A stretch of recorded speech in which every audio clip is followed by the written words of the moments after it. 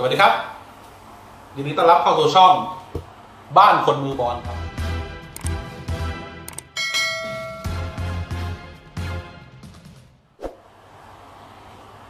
วันนี้อาจจะแปลกตานิดนึงนะครับ เพราะว่าเพิ่งเลิกงานแล้วกลับมามืดด้านนอกถ่ายทำไม่ได้แล้ว ก็เลยเข้ามาทำด้านในในบ้าน วันนี้ กลับมาหาต้นไม้อีกครั้งนะครับ เราออกนอกต้นไม้ไปมากพอสมควรทั้งไปตกปลาด้วยทั้งทำอาหารด้วย วันนี้กลับเข้ามาต้นไม้อีกหนึ่ง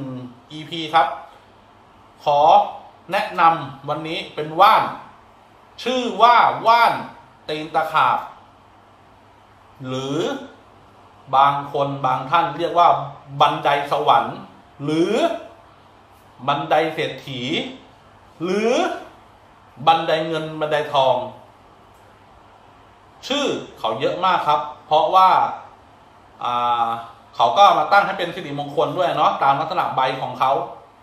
เพราะว่าคำว่าตีนตะขาบมันดูแล้วมันทำแม่งทำแม่งแหละครับผม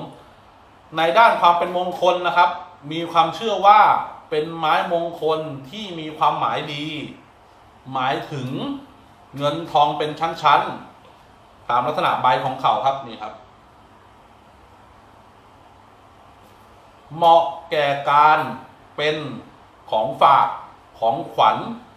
ของชำร่วย มอบให้กันได้ครับปลูกต้นใส่กระถางเล็กๆประดับให้สวยๆมอบเป็นสิริมงคลปลูกบนโต๊ะทำงานได้อะไรได้ ลักษณะของบันไดสวรรค์นะครับ จะเป็นพันไม้ขนาดเล็กลำต้นมีสีเขียวเป็นป้องๆนะครับ เป็นป้องๆเห็นไหมเมื่อมีลำต้น สูงขึ้น จะมีลักษณะเป็นไม้เลื้อยนี่แหละครับ ไม้เลื้อยที่เขาเลื้อยมาข้างกระถางเนี่ยเนาะนี่นี่ครับลักษณะเป็นไม้เลื้อยลงมา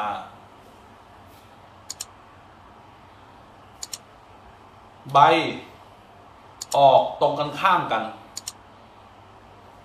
ปีกทั้งสองข้างจากโคนถึงยอดเลยนะครับ มองคล้ายๆกับตัวตะขาบหรือตีนตะขาบนั่นเอง ชาวบ้านจึงเรียกกันติดปากว่า ต้นตีนตะขาบ ต้นตีนตะขาบเป็นต้นไม้ที่ชอบดินร่วนครับระบายน้ำได้ดี ชอบน้ำปานกลาง ชอบแสงแดดปานกลางจนถึงทั้งวันได้ เป็นไม้มีที่มีลักษณะพิเศษมากนะครับ ต้นตีนตะขาบ ขยายพันธุ์ด้วยการปักชำนี่แหละครับ ตัดตามข้อเลยเนาะ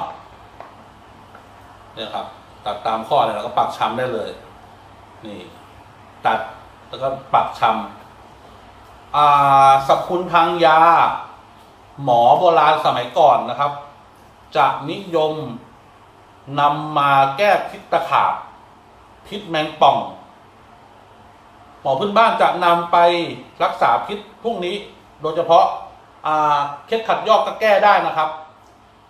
ทั้งหมอชาวจีนและหมอไทยสมัยโบราณ จึงทำให้หมอชาวจีนหรือหมอไทยก็ตาม จะนำต้นตีนตะขาบเนี่ย ไปปลูกไว้ในสวนยางของเขา เพื่อนำยางของเขานำต้นของเขามารักษาคนในสมัยก่อน ปัจจุบันวิวัฒนาการมันไปก้าวไกลนะครับเรื่องทางการแพทย์เนาะก็เลยน้อยคนที่จะนำกลับมาใช้ ตอนนี้จึงกลายเป็นไม้ประดับในสวนในบ้าน ได้เป็นอย่างดี เพราะเขามีลักษณะสวยครับ พอโตแล้วเขาจะเลื้อยบางคนเขาจะใช้ลวดเจาะกระถางเนาะสี่เส้นขึ้นไปแล้วก็แขวน แขวนตามคือตามมุมตามบ้านอะไรต่างๆ พอเขาเป็นไม้เลื้อยปุ๊บเขาจะย้อยลงมาข้างกระถางครับ สวยมาก ครับผม ขออนุญาตแนะนำต้นไม้แต่เพียงเท่านี้ครับ ถ้าใครชอบคลิปนี้ อย่าลืมกดไลค์กดแชร์ กดติดตาม ให้กับช่องบ้านคนมือบอลด้วยนะครับ แนะนำไปหามาปลูกประดับบ้านอีกหนึ่งต้นครับ มีลักษณะสวยเด่น ไม่แพ้ต้นไม้อื่นๆเลย ครับผมวันนี้ไปก่อนครับ สวัสดีครับ